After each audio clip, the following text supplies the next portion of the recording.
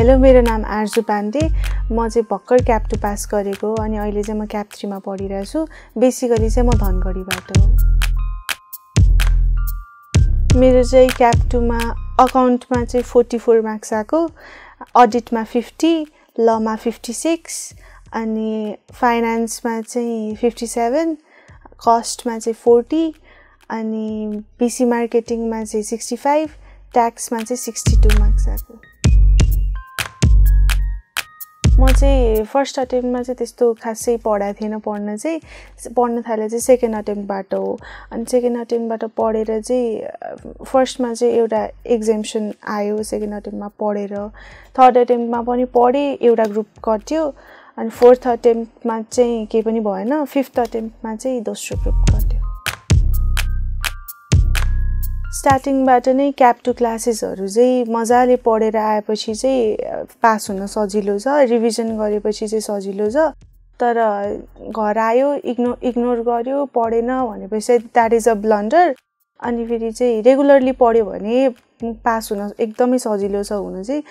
अब एक दुई अटेम्प पनि लागेपछि पनि स्ट्रेस नलिकन पढ्ने धेरै नआत्तिने मजाले पढ्ने।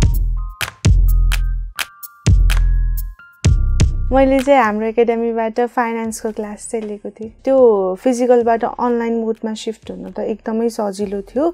अनि प्लस फिजिकल भन्दा चाहिँ बढी प्रिफरेबल चाहिँ अनलाइन मोडबाट नै छ। अलि बढी कन्सन्ट्रेट गर्न सकिने एक्लै बसेर पनि पढ्न सकिने जतिखेर पनि पढ्न सकिने रातिको एक बजे पनि होस् या बिहानको छ बजे होस् ग कतै गइराख्नु पर्दैन घरमै बसेर ल्यापटपबाट हेर्न सकिन्छ। म चाहिँ पहिला फिजिकल क्लास चाहिँ अरुण सरकै लिएको हुनु चाहिँ तर त्यतिखेर चाहिँ आफ्नै इग्नोरेन्सले चाहिँ पढ्न सकेन कि फोकस थिएन पछाडि बस्ने हल्ला गर्ने अनि फेरि चाहिँ पछि पछि आउँदाखेरि चाहिँ ला कन्सेप्टै क्लियर थिएन। एक्जाम एक्जामको बेला चाहिँ कन्सेप्टै क्लियर नहुने अनि त्यतिखेर चाहिँ हाम्रो एकाडेमीले चाहिँ क्लासेसहरू निकाल्यो। अनि त्यो चाहिँ लिँदाखेरि चाहिँ अनि हेर्दाखेरि एकदम कन्सेप्टहरू चाहिँ पुरै क्लियर हुने कि त्यही भएर चाहिँ अनलाइन क्लास राम्रो। त्यस्तो स्टुडेन्टलाई चाहिँ अब उसले गाह्रो परिरहेछ भने क्लासेस लिइदिइहाल्ने कि अनि यो लिएर पनि नाइन मन्थसम्म त यसको छ नि त डेट अनि नाइन मन्थसम्म त जतिखेर पनि उसले पढे भए भइहाल्यो नि त। अनि प्लस क्याप टूको लागि मात्र नभएर यो त क्याप थ्रीको कन्सेप्ट्सहरू पनि छ नि त। अनि त्यो हिसाबले पनि इफेक्टिभ नै छ कि। लिँदैमा चाहिँ कुनै ल नोक्सान हुने जस्तो चाहिँ केही पनि छैन।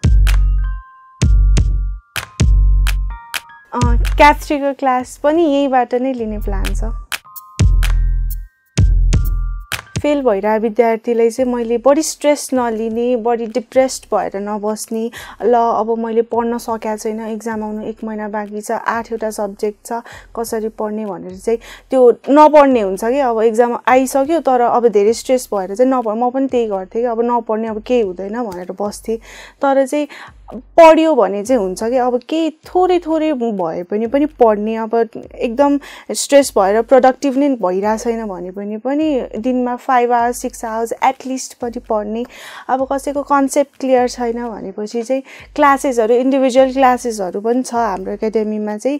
अब त्यहाँबाट चाहिँ लिने कन्सेप्ट आफ्नो कन्सेप्ट क्लियर गर्ने अनि त्यही नै हो त्यही मेसेज नै दिन चाहन्छु।